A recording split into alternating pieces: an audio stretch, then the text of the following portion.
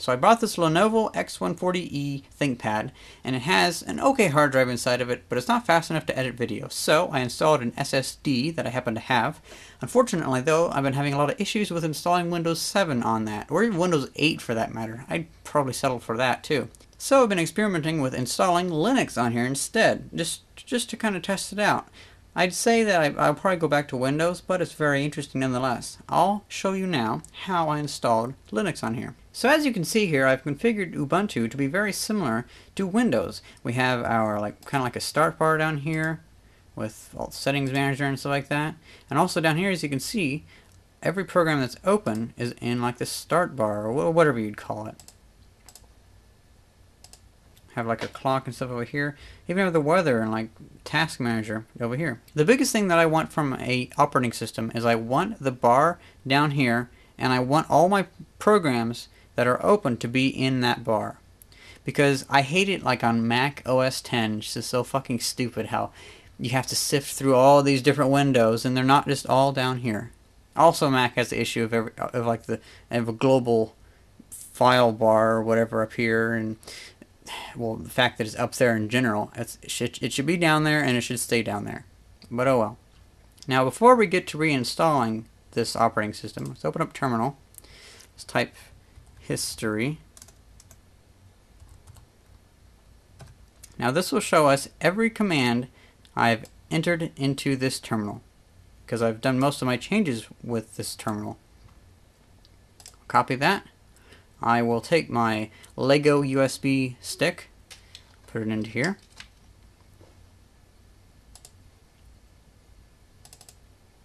Open this up. Oh, I guess I can't do that. Let me find hmm, text editor. Okay, we'll try that. I'll just paste that in there and save as. Sure, there we go. So now we have all the stuff that I did to get this computer to work. Okay, so now we have that saved. Let's shut it down and hook up the CD-ROM drive so we can install.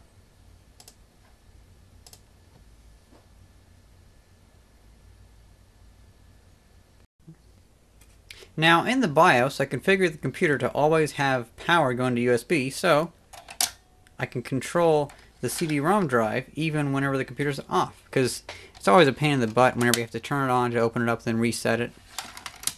So now we can turn it back on. There we go.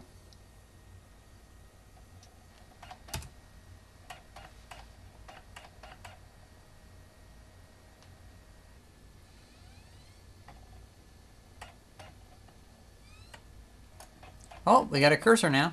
That's good. So this is all pretty simple stuff. You kind of just go, through it and just go through the installation and click whatever you want and click what you don't, uh, unclick what you don't want. And so I'm thinking about I might just film this as a time lapse. It'd be kind of cool.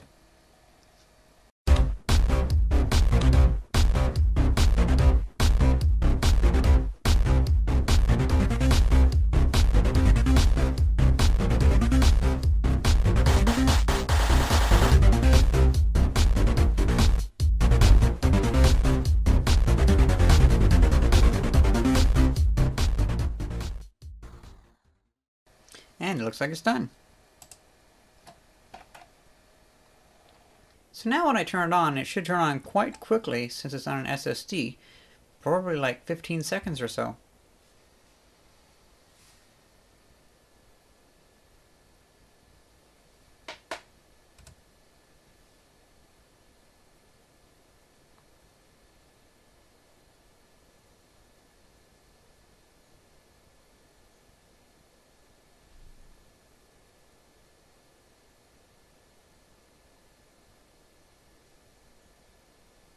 Yeah, look at that. Look at that desktop.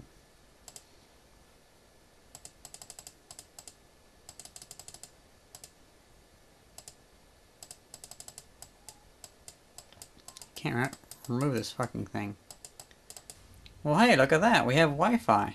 So evidently, clicking to install third-party drivers or whatever it was enabled the Wi-Fi. Because before I had a, a huge issue with that. So that kind of takes out an entire step. That's pretty cool. Now I insert the flash drive again. We can see what I did. Okay. Let's see. Ah, right. sudo apt-get update. So control alt T to open up terminal. So sudo apt-get update. Type in my password. Now it's updating.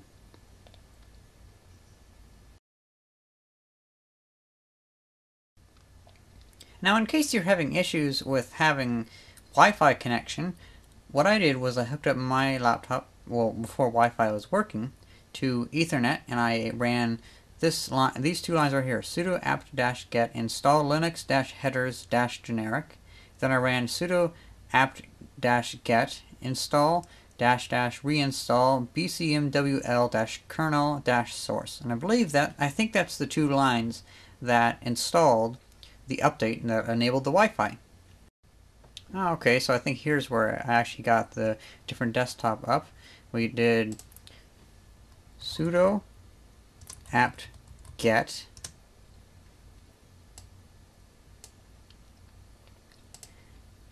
install Xubuntu dash desktop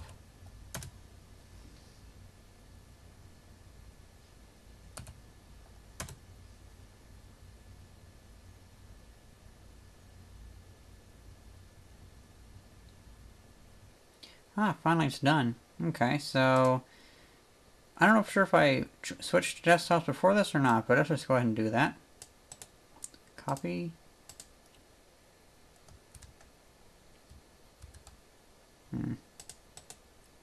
Paste.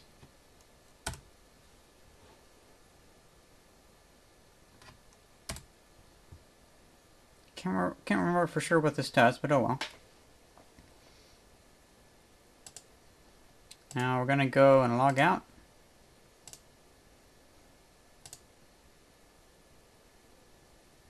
I'm going to click on this.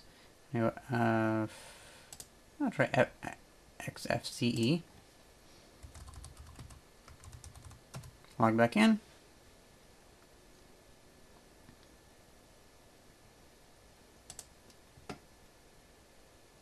And now I've logged in.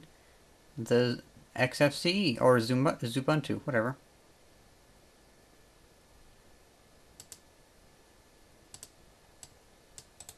Okay, so we have a panel here. Put that on the bottom. Length all the way. One pixels, yep. Lock panel. Items. I want to add applications menu, so that so that there. In the applications menu, I want to go to settings, remove its name so it doesn't take up so much space. So now when you cl click on that, we'll get our like our settings like that, kind of like the start bar. Add another thing. Set a launcher. Let's add four of those. So this will be, oh, let's see, terminal maybe?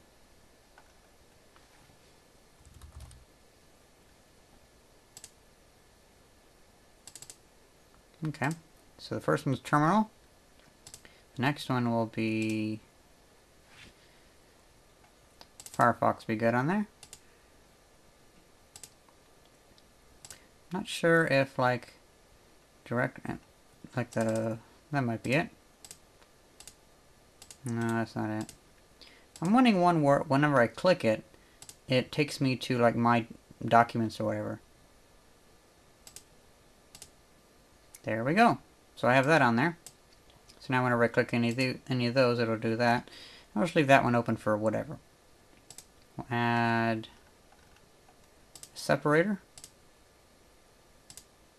This separator we'll make it expand so it pushes all the stuff over.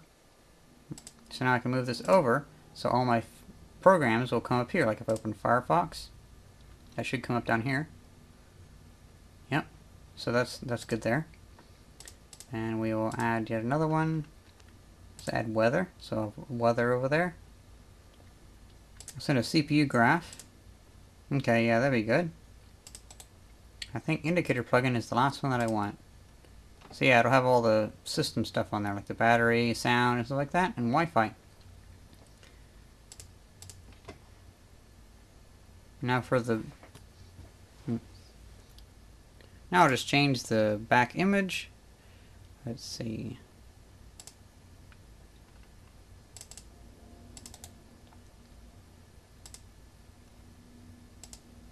That's pretty much it, I think.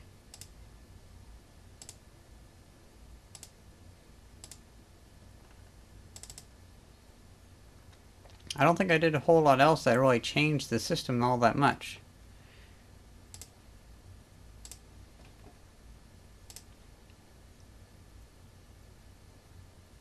So that's how I installed Linux on my laptop, and I'm kind of pleased with it. Unfortunately, though, to me, at least of the understanding I have right now and the programs that I've worked on, it seems to only have the capability of like Windows 2000, maybe Windows XP. But, okay, so first off, what I want my computer to do is I want it to surf the web. And I've noticed that Firefox on Linux is a bit slow, and also, like on YouTube, it'll take a little while longer than on like Windows for it to go full screen, and, i am having a couple glitches. Playing video games, the video game library for Linux is pretty much non-existent compared to PC, so that's a pretty big cut. I can't play. I can't play a lot of my Steam li library on here. Making 3D games is really easy because Blender works very well. Editing videos, eh, haven't found a very good video editor yet because a lot of them either they don't have a download page on the download uh, site they have or the little download helper program. It's, it's kind of like a Linux version of Steam. Or I, I just don't like how the editing software works. But I but there's quite a few other programs I haven't tested yet. Although I did try Blender because I'm a I've been a huge fan of Blender for like eight or nine years now. But I finally tried to edit video with Blender. Eh, I haven't quite gotten the hang of it. I'm, I'm just going to stick to using Blender for 3D modeling and making games. But you could still use it for a pretty good video editor. So in the end, I think I'm going to go back to using Windows. But I could definitely see if Linux got just a little bit better, I could maybe switch to using Linux full time. And also, it's not really that difficult to switch out the hard drives on my laptop, so it's not a big deal to have the SSD with Linux on it and the hard drive with Windows on it. Let's power it off.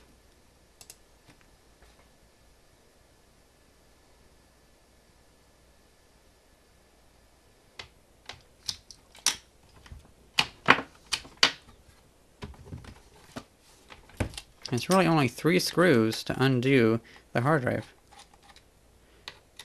Okay, there's like three more screws inside that hold the hard drive in, but you don't really need those. So once you take those out, you can just keep them out.